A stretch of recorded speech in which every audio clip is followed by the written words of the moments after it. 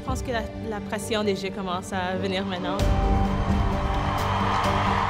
La fondation, c'est une des plus grandes raisons que j'étais capable d'atteindre le niveau que je suis maintenant. Sans la fondation, je ne sais pas comment j'aurais été capable de faire les premières 3-4 ans de ma carrière de lutte. La Fondation, ses partenaires, ses boursiers et ses anciens boursiers, unis pour la réussite.